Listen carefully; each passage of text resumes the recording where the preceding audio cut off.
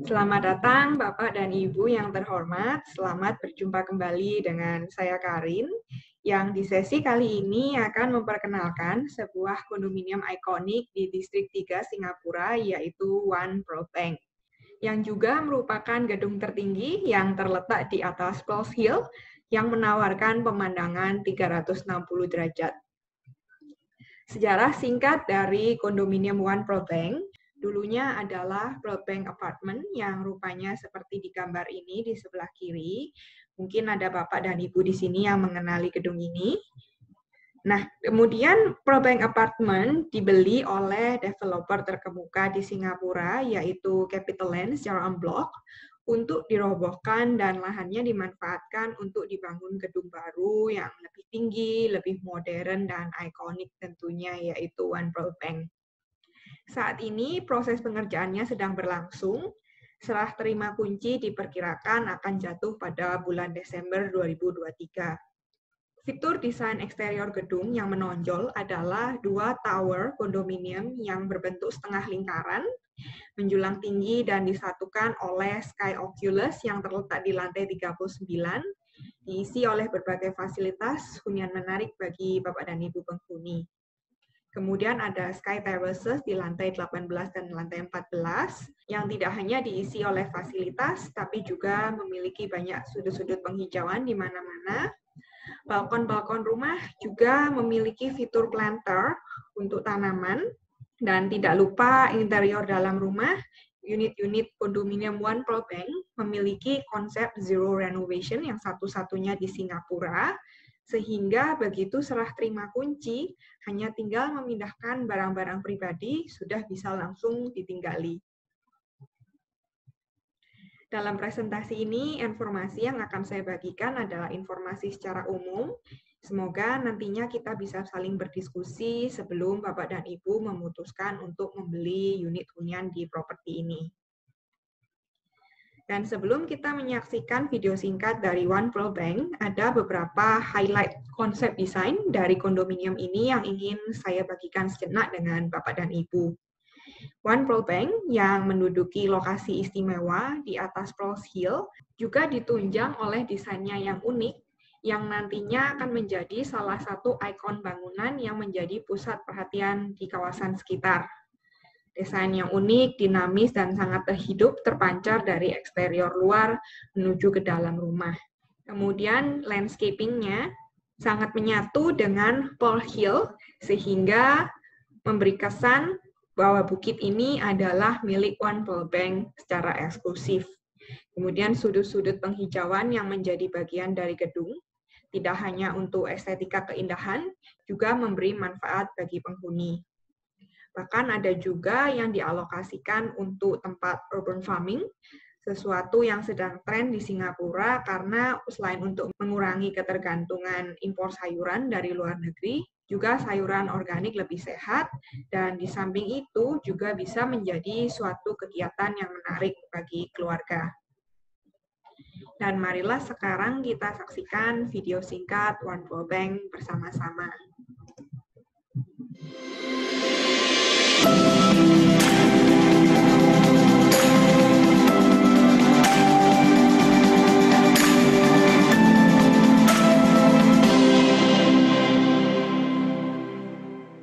Nah, kalau ini gedungnya, sekarang akan saya tunjukkan pemandangan dari atas Grand Bank yang diambil secara 360 derajat dari drone.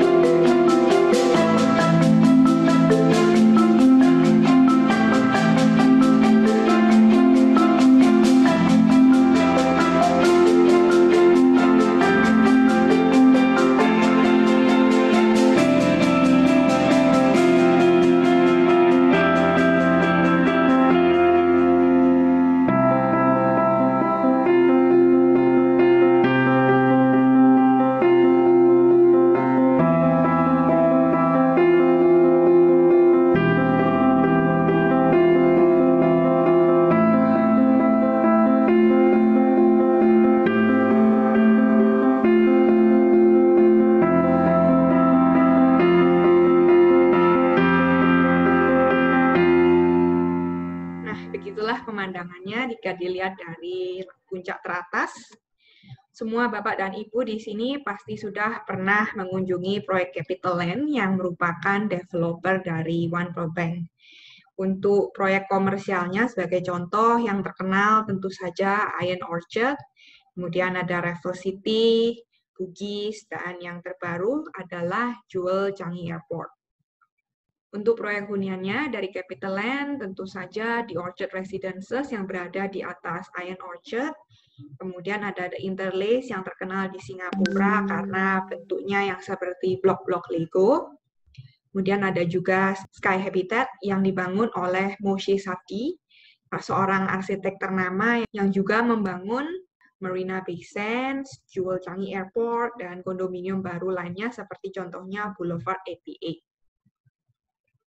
One Pro Bank lokasinya di sini dekat dari Outram Park MRT yang saat ini dilalui oleh dua jalur MRT yaitu jalur hijau yang menghubungkan barat dan timur area Jurong dan Changi Airport. Kemudian yang ungu di sini untuk menuju ke arah Vivo City dan Sentosa. Dan di sini ada jalur baru, jalur coklat yang sedang dibangun, yang nantinya kalau sudah jadi dari kondominium One Pearl Bank jalan kaki sekitar 3 menit menuju ke MRT, dan dari MRT untuk menuju ke Orchard, langsung MRT tanpa perlu ganti jalur, hanya 3 stop. Dan bisa juga jalan kaki dari One Pearl Bank ke Chinatown MRT, cukup dekat juga jaraknya. Ada jalur biru yang menghubungkan ke arah CBD Downtown dan Bukit Timah. Kemudian tempat-tempat sekitarnya yang di sini ada area Singapore General Hospital yang luas yang saat ini sedang dikembangkan bertahap untuk menjadi seperti ini dan Singapore General Hospital sendiri masuk dalam peringkat 10 besar rumah sakit terbaik di dunia dan bahkan pernah menduduki peringkat ketiga di tahun 2019.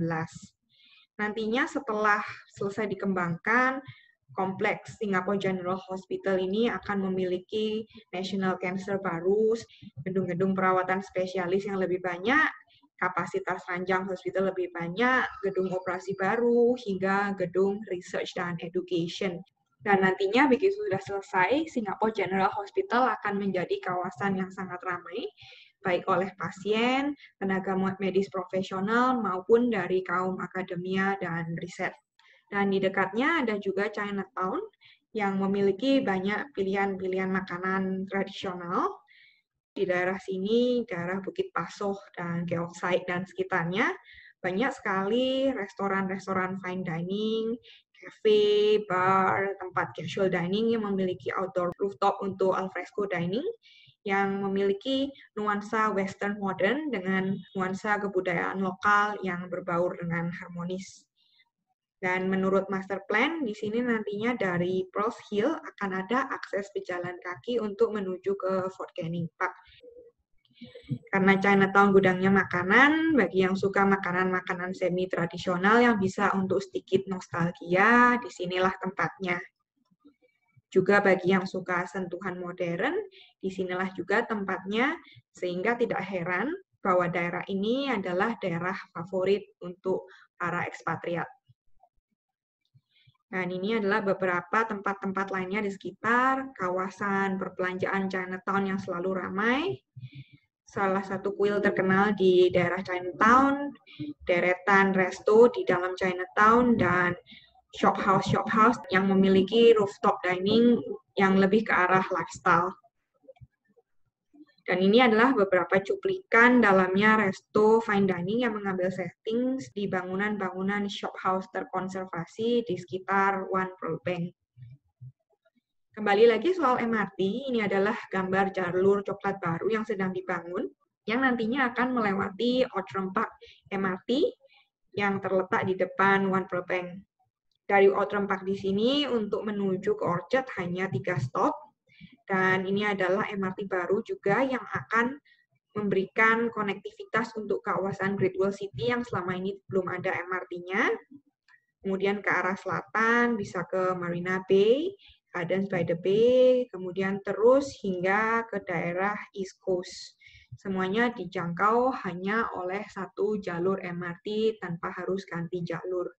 Dan kemudian jalur lainnya tentu saja yang juga melintasi Outram Park adalah jalur hijau yang menghubungkan Jurong hingga ke Changi Airport, kemudian jalur ungu untuk ke Harbourfront, Vivo City, dan ada juga jalur biru yang cukup dekat, yaitu di Chinatown, yang bisa menghubungkan hingga ke Bukit Timah.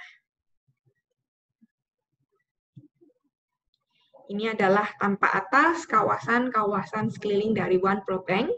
One Pro Bank-nya di sini masih berupa Pro Bank Apartment yang lama. Di sebelah kirinya ada Pro Hill City Park, Pro Hill Reservoir di sini, Clarke Fort Canning, State Court Complex. Bangunan yang ini adalah People's Park Complex. Dan di sini adalah pintu masuk untuk menuju ke Chinatown MRT lahan di depan One Pro Bank adalah lahan kosong yang merupakan white site, di mana lahan ini bisa dibangun untuk lahan hunian, lahan perkantoran, pertokoan, hotel, dan lain sebagainya. Ini adalah pintu masuknya Rotten Park MRT, dan lahan yang hijau ini adalah lahan untuk residensial. Ke arah selatan, One Pro Bank-nya di sini adalah view ke arah laut Pulau Sentosa. Pulau kecil di dekatnya adalah Pulau Brani yang bersama-sama dengan City Terminal di daerah nomor 5 ini akan dikembangkan menjadi daerah baru bernama Greater Southern Waterfront. Mengapa bisa? Karena terminal-terminal kargo beserta aktivitas bisnisnya semua akan dipindahkan ke Tuas, di mana Tuas akan dijadikan jauh lebih besar dan daerah sini yang lebih strategis untuk dijadikan sarana rekreasi, tempat tinggal, hiburan, dan lain sebagainya akan lebih bisa dimanfaatkan dengan lebih baik. Tentu saja lokasinya yang dekat dari One Pearl Bank akan menguntungkan One Pearl Bank karena secara keseluruhan transformasi kawasan di sini akan membantu mengangkat nilai dari kawasan-kawasan di sekitarnya. Dan ini adalah foto yang diambil dari atas untuk melihat ke arah utara, arah selatan tadi yang kita sudah lihat ada Pulau Sentosa dan Pulau Brani ini yang masih belum dipindahkan pemandangan ke arah barat, ini adalah jalur tol yang langsung menuju ke arah Jurong, hanya bisa ditempuh dalam waktu 30 menit saja. Dan ini ke arah timur ada Chinatown, bangunan People's Park Complex, dan ada Marina Bay Sands di arah sini.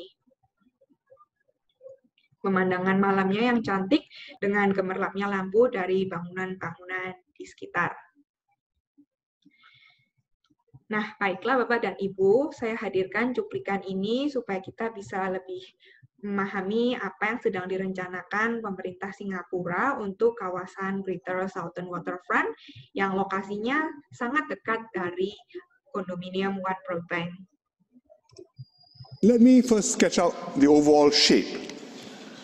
The GSW comprises 30 kilometers of our southern coastline. from Gardens by the Bay east all the way to Pasir Panjang. And it's about 2,000 hectares of land. It's six times the size of Marina Bay, or in other terms, about two Pongos. The GSW includes the PSA city terminals, which are at Tanjong Pagar, at Brani, and at Keppel. And they also include the Pasir Panjang terminals. By 2027, the city terminals will go to Tuas, where we are building a new port. And later on, in 2040, the Pasir Panjang terminal will also go to Tuas port. And this will free up prime land for redevelopment. It will be an opportunity to reshape the Greater Southern Waterfront into a new place to live, work, and play.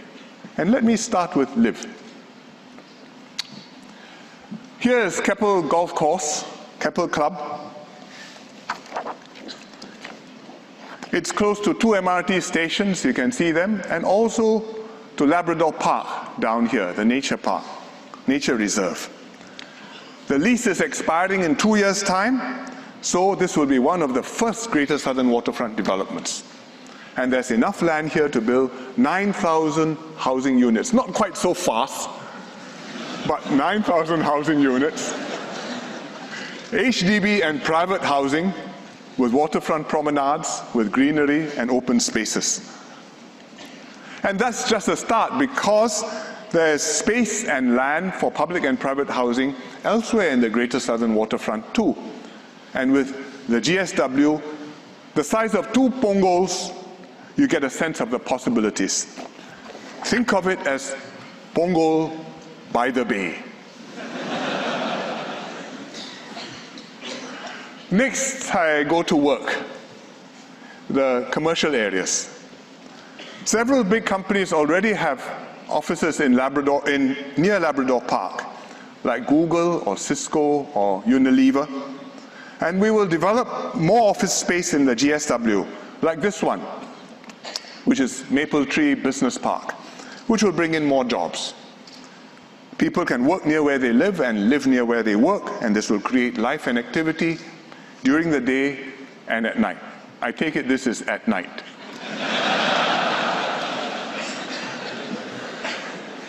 Finally, I come to play. Actually, I got there already. The fun part. There are many possibilities for fun and recreation. We will start by redeveloping two old power stations in Pasir Panjang. These are the Pasir Panjang power stations. They used to supply electricity back in the 1960s, but they were decommissioned long ago. And we can find creative new uses for them, just like the way we made St. James Power Station near Vivo City into a nightlife destination. Next, after Brani terminal moves out, we can develop Pulau Brani together with Sentosa. We will build new attractions on Brani, just like we have Universal Studios on Sentosa, which is this block here.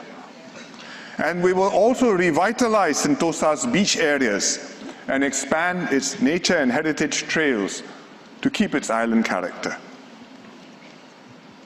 We will also link up the GSW with all the surrounding green areas so that you have a whole connection from West Coast Park to East Coast Park and also from rail corridor all the way down to Sentosa. And with a new green heart at the center, Singapore will be even more of a city in a garden. Nah, sekarang kita kembali lagi ke One Pro Bank dan kita akan melihat lebih dekat fasilitas yang disediakan untuk Bapak dan Ibu penghuni di kondominium One Pro Bank. Dimulai dari lantai dasar, kolam renang di sini panjangnya 50 meter, dilengkapi dengan fitur aqua gym dan hydro massage area Kemudian di sekitarnya juga ada area untuk barbecue, kolam renang anak-anak, tempat bermain dan berolahraga. Kemudian sky terrace-nya ada dua, di lantai 14 dan lantai 18, yang menawarkan view yang berbeda. Dan lantai tertingginya tentu saja adalah Sky Oculus di lantai 39 yang menghubungkan kedua tower. Dan gym untuk penghuni juga disediakan di lantai 39. Bayangkan ya betapa nikmatnya berolahraga ditemani oleh pemandangan-pemandangan kota yang menawan dari ketinggian 178 meter di lantai 39. Untuk tipe-tipe unitnya, tersedia tipe mulai dari studio, one bedroom, two bedroom, three bedroom, four bedroom, hingga penthouse.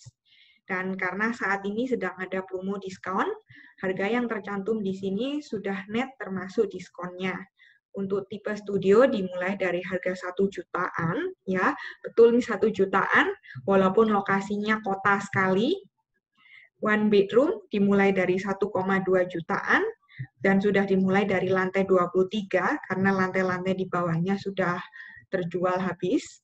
Untuk tipe two bedroom dimulai dari 1,6 jutaan di lantai 9, three bedroom 2,4 jutaan dan four bedroom dari 3,4 jutaan. Dan unit yang cukup populer di sini adalah tipe one bedroom, di mana banyak warga negara Singapura yang membeli tipe one bedroom untuk disewakan. Mengapa demikian? Karena lokasinya dekat sekali dari kota, dekat dari pusat bisnis, dan kemudian Singapore General Hospital yang luas pastinya akan banyak sekali tenaga-tenaga medis profesional yang juga akan datang dari mancanegara kemudian konektivitas MRT yang sangat mudah, sehingga mencakup tenan-tenan yang bekerja tidak hanya dari satu atau dua jalur MRT, tetapi juga tiga bahkan empat jalur MRT. Jadi catchment tenannya sangat besar dan inilah yang membuat banyaknya warga Singapura yang membeli one bedroom untuk tujuan disewakan, di samping mereka-mereka yang juga membeli tipe-tipe lebih besar lainnya untuk tinggal keluarga. Dan sekarang marilah kita lihat salah satu tipe rumah contoh yang akan saya bagikan adalah tipe 3 bedroom. Dan kita sekarang sudah berada di tipe 3 bedroom, dan rumahnya bila kita lihat dari atas, seperti ini, agak menyerupai seperti kipas ya. Dan marilah langsung kita mulai jalan-jalannya dari arah luar. Di sini sudah dibuatkan rak sepatu dari developer dan panel ini juga sudah termasuk karena konsepnya zero renovation.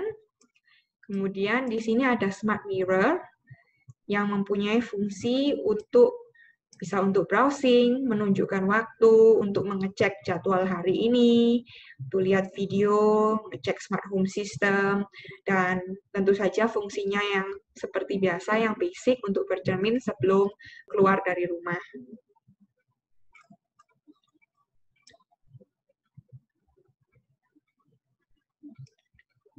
Kita akan memasuki ruangan rumah. Dapurnya di sini bisa dijadikan dapur terbuka atau dapur tertutup, tergantung selera Bapak dan Ibu penghuni. Kemudian ruang tengahnya, lampu-lampu sudah termasuk juga beserta day and night curtains sesuatu yang biasanya tidak termasuk di kondominium lainnya.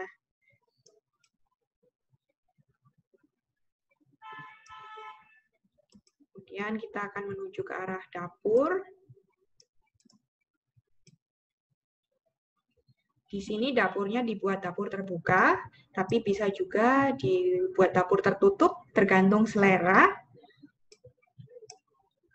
mesin cuci dari Vizuk yang merupakan sebuah brand dari Swiss dengan kabinet dapurnya dari Ernesto Meda, Itali. Untuk permukaan dapur untuk permukaan countertop terbuat dari engineered tiles yang menjadi satu dengan wastafel di sini. Mengapa engineered tiles dipilih sebagai bahan dari countertop yang juga menjadi satu dengan wastafel? karena tidak hanya untuk fungsi estetika keindahan, bahan ini memang lebih kuat, lebih tahan lama, anti gores, anti panas, dan tentu saja lebih higienis. Perlengkapan masak lainnya yang tidak termasuk ada built-in oven, induction cooker, cooker hood, semuanya dari Bizuk.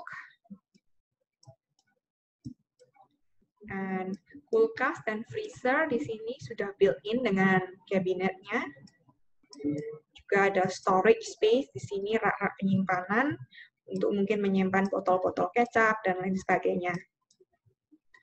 Ruang penyimpanannya bisa juga dijadikan sebagai kamar pembantu seperti yang dibuatkan oleh interior di sini yang mungkin bisa jadi inspirasi juga kalau Bapak dan Ibu suka.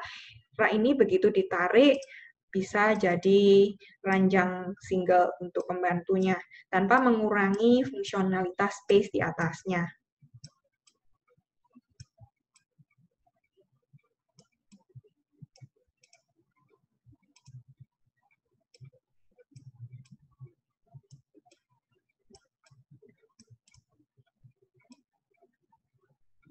Dan tidak lupa juga tadi saya belum sempat yang di sini kabinet kitchen dari Ernesto Meda ini mempunyai fitur seperti ini sehingga ada sirkulasi udara untuk barang-barang yang disimpan di dalam kabinet dapur ini. Dan ini adalah salah satu common bedroom. Yang ini disetting untuk kamar anak.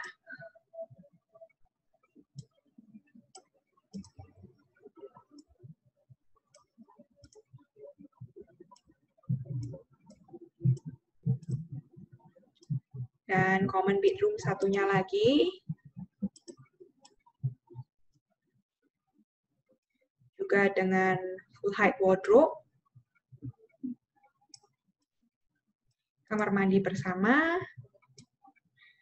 Sudah termasuk dengan cove lighting.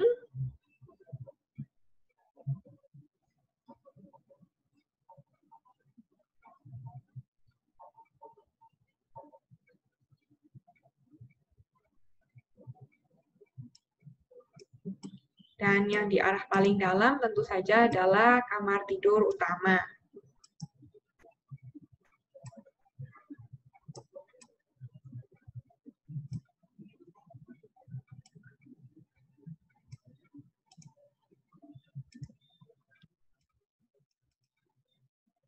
kamar mandi utamanya di sini masih sama bahannya engineer tiles sehingga dari sini vanity top sampai ke wastafel semuanya menjadi satu, dan selain untuk estetika, tentu saja dari segi fungsionalitas lebih tahan lama.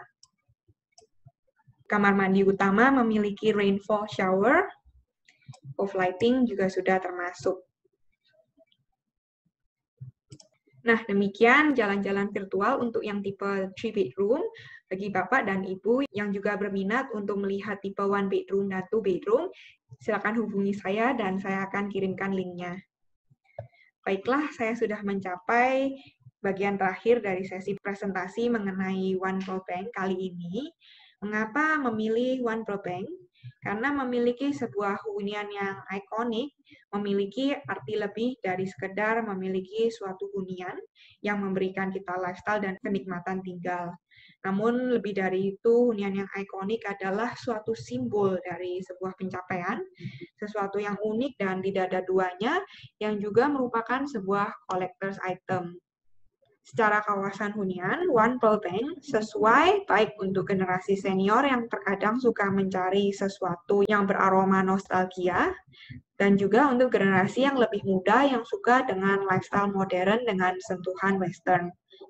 Lokasinya di distrik 3, dekat dengan kawasan Central Business District, dan juga proyek Greater Southern Waterfront, sangat strategis sebagai kawasan berpotensi, di samping juga sebagai kawasan matang yang sudah dikelilingi fasilitas kesehatan, berbagai tempat makan, dekat dengan supermarket, dan lain sebagainya.